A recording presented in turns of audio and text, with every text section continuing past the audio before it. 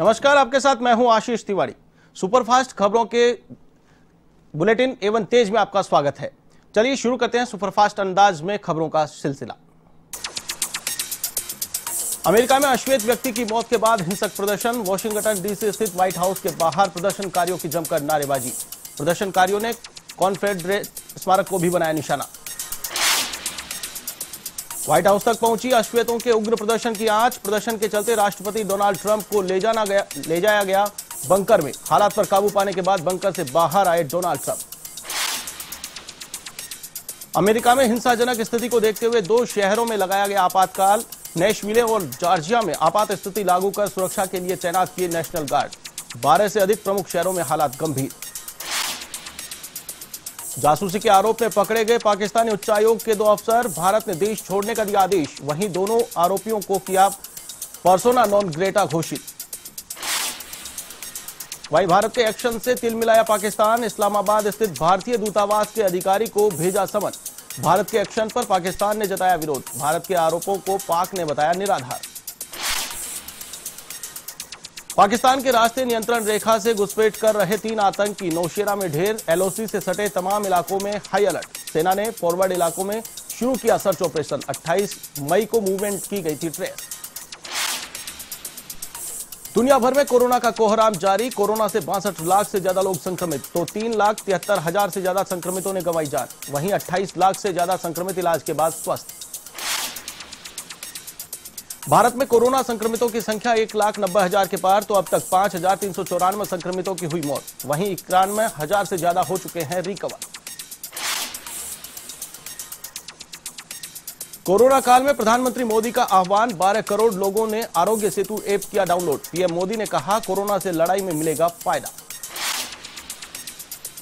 Corona संकट के बीच PM Modi ने किया मेडिकल छात्रों को संबोधित, कहा, देश के डॉक्टरों पर दुनिया की नज़र। विश्व युद्ध के बाद बताया कोरोना, वैश्विक महामारी को सबसे बड़ा संकट। प्रधानमंत्री नरेंद्र मोदी ने कहा, कोरोना के खिलाफ डॉक्टर्स और मेडिकल स्टाफ है असली सैनिक। इनकी लड़ाई नहीं दिखने वाले वायरस से। पीएम ने कहा, कोरोना योद्धाओं के साथ बुरा व्यवहार नहीं करेंगे बर्दाश्त।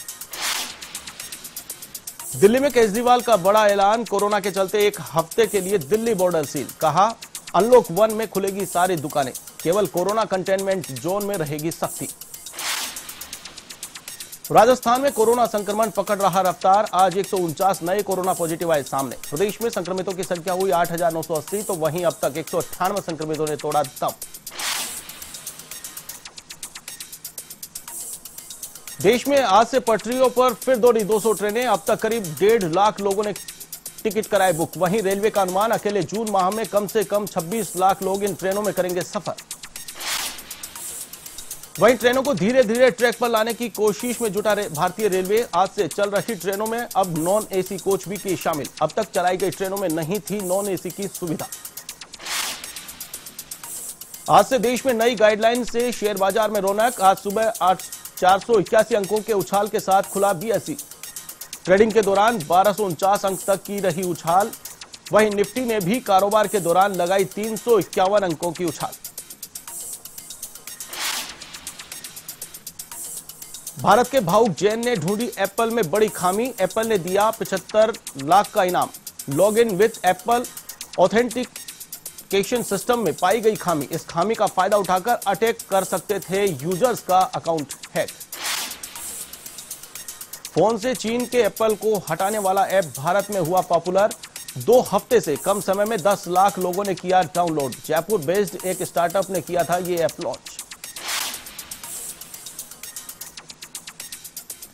दिल्ली बीजेपी अध्यक्ष मनोज तिवारी समेत कई भाजपा नेता पुलिस हिरासत में लॉकडाउन के उल्लंघन का लगा आरोप। राजघाट पर कर रहे थे अरविंद केजरीवाल के खिलाफ प्रदर्शन। तिवारी ने किया लॉकडाउन तोड़ने की बात को सिरे से खारिज। देश में सादगी से मनाया गया गंगा दशमी का पर्व आज के दिन ही स्वर्ग पर, स्वर्ग से धरती पर हुआ था गंगा का अवतरण। महज 20 लोगों की मौजूदगी में मनाया उत्सव। हरिद्वार, बनारस समेत पूरे देश के गंगा घाट रहे सूर्य। ज्येष्ठ मास के शुक्ल पक्ष की दशमी को धरती पर अवतरित हुई थी देव नदी गंगा। उद्गम स्थल गंगोत्री में इसे कहते हैं भागीरथी। गोमुख गंगोत्री से निकली गंगा कई राज्यों और शहरों से गुजरती हुई पश्चिम बंगाल में गंगा सागर पर समुद्र में होती है समाहित। केरल में दक्षिण पश्चिम में मानसून मानसून ने दी दस्तक, बारिश के बीच राज्य के तिरुवनंतपुरम, कोल्लम, कन्नूर सहित नौ जिलों में येलो अलर्ट। केरल के ज़्यादातर इलाकों में हुई भारी बारिश, तापमान में गिरावट दर्ज। म्यूज़िक डायरेक्टर वाजिद खान का हुआ निधन, वर्सोवा के कब्रिस्तान में किए गए सुपुर्दे खाक। बॉलीवुड इंडस्ट्री में दौड़ी शोक की लहर। कोरोना और किडनी की समस्या से जूझ रहे थे वाजिद। जयपुर में पूर्व आईएएस अशोक सिंघवी ने किया सरेंडर, मनी लॉन्ड्रिंग के कोर्ट में किया सरेंडर। खान घूसकांड मामले में जनवरी 2019 से चल रहे थे फरार। चूरू के सुजानगढ़ में दर्दनाक हादसा, ट्रेलर और कार की भिड़ंत में पाँच लोगों की मौत। बच्ची का इलाज कराने चिंचड़ोली जा रहे थे सभी लोग। प्रदेश में पुलिसकर्मियों का आत्महत्या का सिलसिला जारी। जैसलमेर के पोखरण में पुलिस कांस्टेबल ने फांसी का फंदा लगाकर की आत्महत्या। Constable Mayaram power grid company में गार्ड के रूप में था तैनात। यूपी के मैनपुरी में चार बच्चों की पानी में डूबने से हुई मौत। ईंट भट्टे के लिए उठाई गई मिट्टी के बाद गड्ढे में भरा हुआ था पानी। बकरी चराने गए, चारों बच्चों की डूबने से हुई मौत। अलीगढ़ में दिन दहाड़े एलआईसी कर्मचारी से बाईस लाख सत्तर हज़ार की लूट। गार्ड ने की फायरिंग तो बदमाशों ने की गोलीबारी। इस हमले में चार लोग हुए घायल, अलीगढ़ के समद रोड का मामला। मथुरा की यमुना नदी में डूबी किशोरी की तलाश जारी। गंगा दशहरा पर्व पर यमुना नदी में नहाने आई थी किशोरी। पुलिस प्रशासन और गोताखोर लगे तलाश में सुरीर थाना क्षेत्र के ओहावा की बताई जा रही है किशोरी उषा। सीकर के फतेहपुर में भाजयुमो कार्यकर्ताओं ने लगाया रक्तदान शिविर। स्थानीय युवाओं ने बढ़ चढ़कर किया रक्तदान। भाजपा नेता मधुसूदन भिंडा, प्रदीप चौमाल और सहित कई कार्यकर्ता मौजूद। सीकर के दाता कस्बे में कोरोना पॉजिटिव मिलने के बाद प्रशासन सतर्क। एवन टीवी की खबर का नज़र आया असर। वार्ड नंबर 27 के क्वारंटाइन सेंटर पर करवाया सैनिटाइजर का छिड़काव। पाली के बाली में एसडीएम श्रीनिधि बीटी ने सफ़ाई कर्मचारियों का बढ़ाया हौसला, कहा, कोरोना महामारी में सफ़ाई कर्मचारियों ने दिया अहम योगदान। सम्मान पत्र देकर कर्मचारियों का किया सम्मान। देश भर में one nation, one ration card किया लागू। 20 राज्यों और केंद्र शासित प्रदेशों में किया योजना का शुभारंभ। कोरोना संकट के बीच प्रवासी मजदूरों और गरीब लोगों को मिलेगी राहत। देश भर में घरेलू और कमर्शियल सिलेंडर हुए महँगे। नॉन सब्सिडी घरेलू सिलेंडर ग्यारह रुपए पचास पैसे हुआ महँगा। वहीं कमर्शियल सिलेंडर एक सौ दस रुपए पचास पैसे हुआ महँगा। लॉकडाउन के बाद गुलाबी नगरी फिर हुई गुलजार। राज्य सरकार की गाइडलाइन के बाद आज खुले परकोटे के बाज़ार। इकहत्तर दिन बाद बाजारों में लौटी रौनक। कंटेनमेंट जोन में जारी रहेगा कर्फ्यू प्रदेश भर में सरकार की नई गाइडलाइन के बाद अनलॉक वन शुरू। सैलानियों के लिए खोले सभी राजकीय संग्रहालय, स्मारक, पर्यटन स्थल, नेशनल पार्क। पर्यटन स्थलों पर पहले दिन संगीत कार्यक्रम का हुआ आयोजन। जयपुर के एसएमएस अस्पताल में नियमित सेवाएँ शुरू, अन्य मरीजों के लिए ओपीडी हुई शुरू। कोरोना मरीजों को किया गया आरयूएचएस में शिफ्ट, ऑनलाइन रजिस्ट्रेशन वाले मरीजों को दी प्राथमिकता।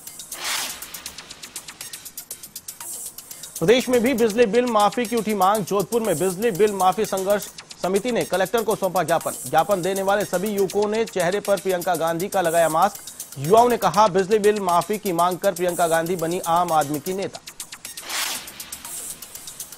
कोरोना महामारी के चलते आर्थिक तंगी जारी। प्रदेश में बिजली बिल माफ़ करने की उठी मांग। सीकर के अजीतगढ़ में माकपा के नेतृत्व में थोई बिजली कार्यालय पर दिया धरना। चित्तौड़गढ़ में केंद्रीय नारकोटिक्स टीम की बड़ी कार्रवाई, दो अलग अलग कार्रवाई में 230 किलो से अधिक अफीम जब्त। अंतर्राष्ट्रीय बाज़ार में आकी जा रही करोड़ों रुपए कीमत। अफीम तस्करी के आरोप में दो लोग गिरफ़्तार। अजमेर में ख्वाजा की दरगाह को इक्कीस हज़ार चिराग जलाकर किया रोशन। कोरोना महामारी के खात्मे की मांगी दुआ। वहीं चिश्तिया मिशन की ओर से दरगाह में कार्यक्रम हुआ आयोजित। बारह में कोरोना संक्रमण ने तेज़ी से पसारे पाँव। ज़िले में आज 27 लोगों की रिपोर्ट आई पॉजिटिव। कोरोना संक्रमितों की संख्या बढ़कर हुई बयालीस। चिकित्सा विभाग हुआ सतर्क सीकर के दाता रामगढ़ में कोरोना का बढ़ता जा रहा कहर। सोमवार को दो और मामले आए सामने। चिकित्सा विभाग में मचा हड़कंप। प्रभावित इलाकों में लगाया गया कर्फ्यू। अजमेर के जवाहरलाल नेहरू हॉस्पिटल में संविदा पर लगे नर्सिंग कर्मियों ने किया प्रदर्शन, काली पट्टी बाँध बांधकर जताया विरोध। सरकार से की वेतन बढ़ाने की मांग, जिला कलेक्टर को मुख्यमंत्री के नाम सौंपा ज्ञापन। शिवगंज में कोरोना योद्धाओं का किया गया सम्मान, गौ सेवा विद्या मिशन की ओर से प्रशासनिक अधिकारियों, मीडिया कर्मियों और समाज सेवकों को किया गया सम्मानित। समारोह में उपखंड अधिकारी थाना अधिकारी सहित कई कर्मचारी भी हुए शामिल। भरतपुर के बयाना में तंबाकू से बने उत्पादों की हो रही कालाबाजारी, मोटी रकम कमाने के चक्कर में दुकानदार धरल्ले से बेच रहे माल प्रशासन नहीं कर रहा कोई कार्रवाई। बाड़मेर के समदड़ी में विधायक हमीर सिंह भायल के नेतृत्व में सीएम और ऊर्जा मंत्री के नाम सौंपे ज्ञापन, कहा, बिजली बिल का पूरा भुगतान करने के बावजूद विभाग ने वसूली का दिया नोटिस। किसानों ने की तीन महीने का बिजली बिल माफ़ करने की मांग। बूंदी में तालेडा बाईपास के पास हुई चाकूबाजी का आरोपी किया गिरफ़्तार। शनिवार को मोहित सैनी पर किया गया था जानलेवा हमला। हमलावर वतन सक्सेना को पुलिस ने किया गिरफ़्तार। लालसोट में उद्योग मंत्री प्रसादीलाल मीणा ने नरेगा योजना को लेकर ली बैठक। अधिकारियों से लिया फीडबैक। जरूरतमंद लोगों को दिए जाने वाले रोज़गार सहित कई मुद्दों पर हुई चर्चा। बैठक में विकास अधिकारी, तहसीलदार आदि रहे मौजूद।